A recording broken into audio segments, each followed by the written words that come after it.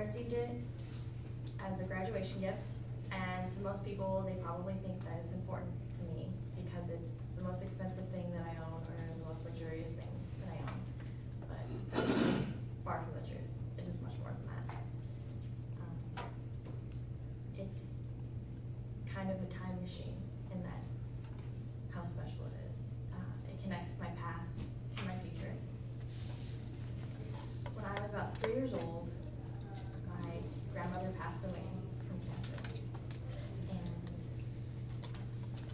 she took care of me basically from birth until she passed. And she was the person that taught me how to do everything. She taught me how to speak.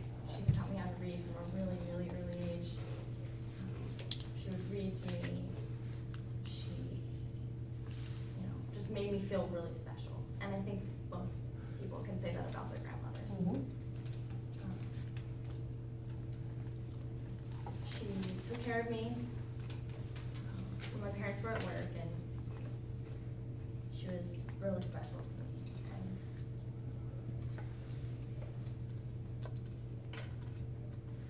Breathe. Just take a deep breath.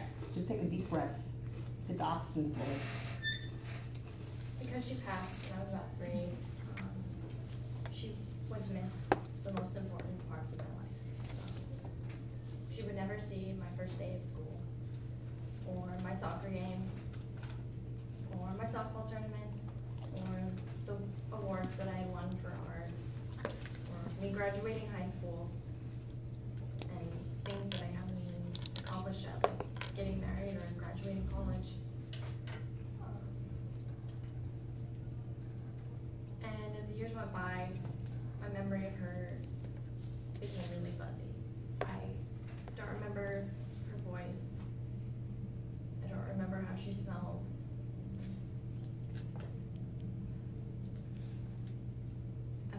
Too many things about her.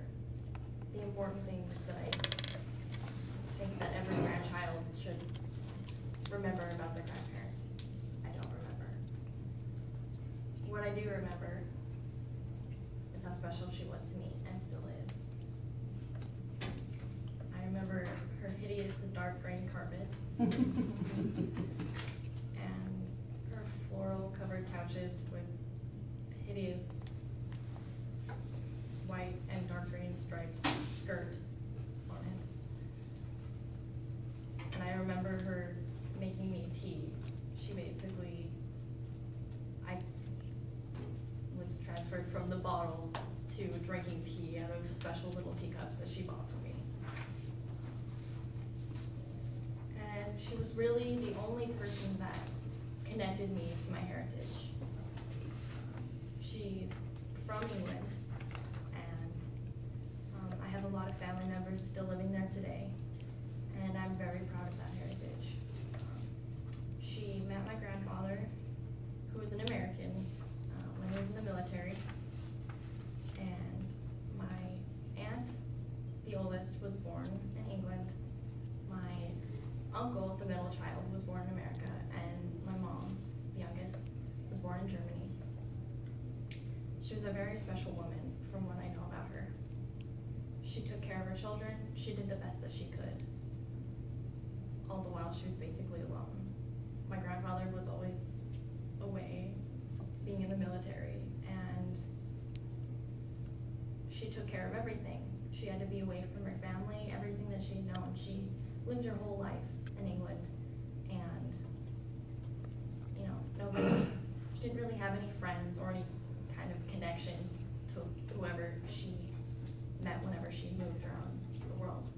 They lived in Hawaii, Germany, which is a culture shock in itself. Um, But she always stayed strong. She was resilient. She knew that the most important thing in the world to her were her children and the future that they could have. And that's who I really want to be. She raised my mother to be an extremely strong person.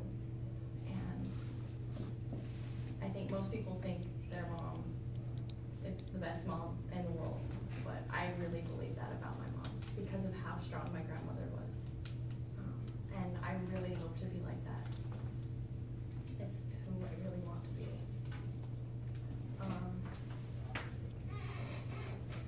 when I was little, she would teach me everything about our culture, like most grandmothers do, I imagine.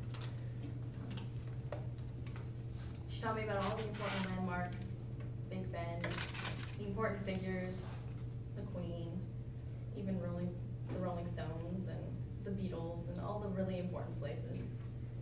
And after she passed, the only connection that I had was the movie The Parent Trap. If anybody's seen that with Yeah. Lindsay Lohan, she goes, the whole montage of her in the Beatles song and her looking at all the really cool places and being so excited that she's with her mom. And I'd always hoped that that was gonna be me someday. I was gonna go to the place that my family was from and feel that same way, feel exhilarated and happy. And um, this fall, I will actually have that opportunity. I learned recently that I'm going to go to my aunt's birthday party. And she's actually the person standing behind my grandmother. And she's just like my grandma, um, from what I hear and from what I kind of know. When my grandma was sick, she came overseas several times to make sure that my mom and I were okay. And she is the next best thing that I have to my grandma. She's probably the second greatest person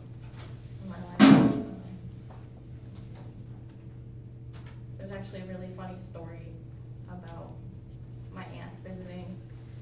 Um, She pulled up in the driveway at my grandmother's house and I had gotten so excited, I was running around, that I actually threw up on my mom's shoulder and then continued to run down the stairs to greet my Aunt Shirley, because I was that excited. Um, But this past summer, I finally got to open the graduation gift that I had been waiting about fifteen years to open. I had waited so long, and for so many years, whenever I missed my grandma, I would beg my mom for me to be able to open that gift, and I'm really glad she never caved.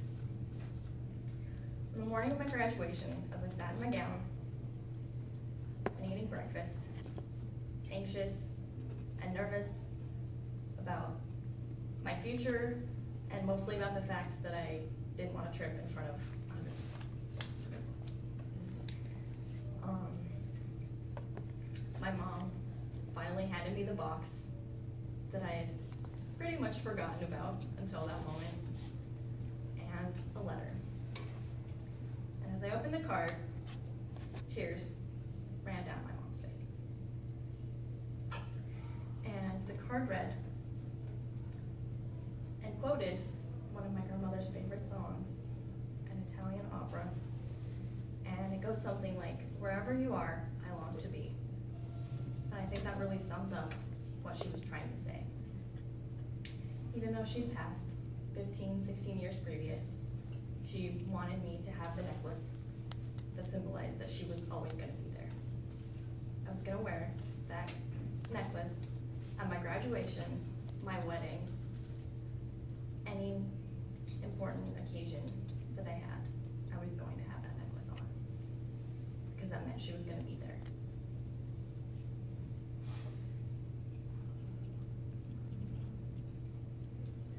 Breathe. Just take a deep breath, get the oxygen coming.